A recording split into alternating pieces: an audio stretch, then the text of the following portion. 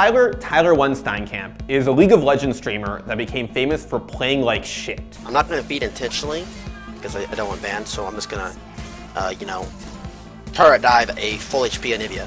You know what I mean? Which is weird, because he's actually a pretty solid League player. Boys, you you are watching a challenger streamer. How's it feel? And it's even weirder because his shitty attitude actually broke solo queue.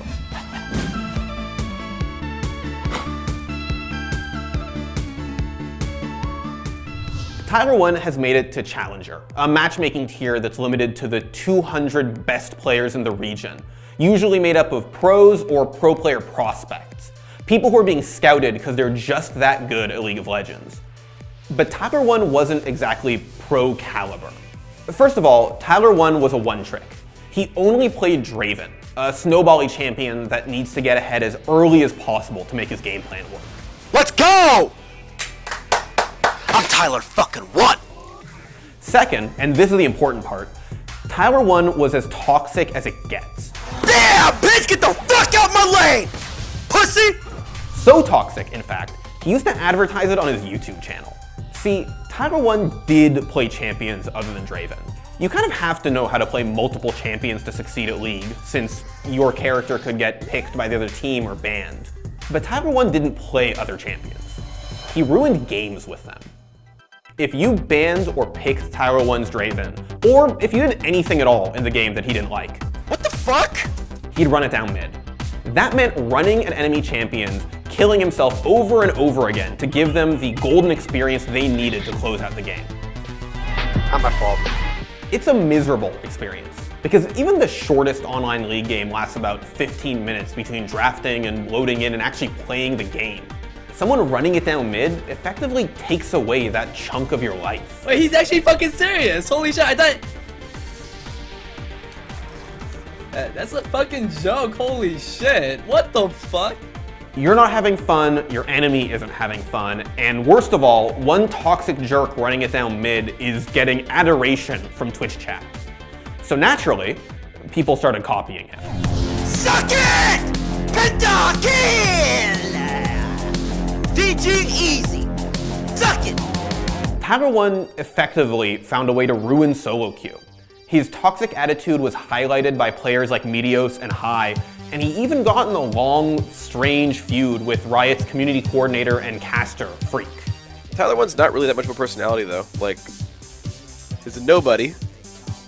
And his only marketable skill is being an asshole. Like, I think I think Freak needs, you know, to taste what an alpha an alpha tastes like, boys. Let's go. All that meant more stream viewers and more Tyler One fans copying him for laughs. Ironically, community figures criticizing Tyler One's toxic behavior only made him more popular. the whole time. I'm just I'm just really confused about how a player like that isn't just completely permabanned instantly. I think there's something there's got to be something wrong with the system because there's always going to be toxic players. They put an eye on the toxicity at the heart of League of Legends, and instead of shying away from it, some fans embraced it. Together with his fans, Tyler One proved that there is a problem behind League of Legends solo queue. It's a system that requires everyone to want to win, but sometimes that's just not true. In response, Riot issued an ID ban to Tyler One. Not banned on Twitch, no. I still have that, but banned from League. It's the harshest thing Riot can do to a player because it meant that they would ban Tyler One anytime they found any evidence of him playing League of Legends. Riot, please. God damn it. That essentially killed his streams because Riot could ban his account the second he started streaming. The inting eventually died down, partially because people stopped finding it funny, but also because the toxic Vanguard had died on his cross. Meanwhile, Tyler One entertained his stream audience by doing this. If a meal looks good on your plate, it will- 100% taste good in your mouth. and this. To another episode of Tyler Paints with Friends. and this. For the first, for the first one, I'm gonna hit up is orange. After I do orange, I, I like I said, I got 10 more eggs. Cause I bought a dozen, boys. Tyler One spent the better part of 2016 and 2017 trying to show Riot that he had reformed.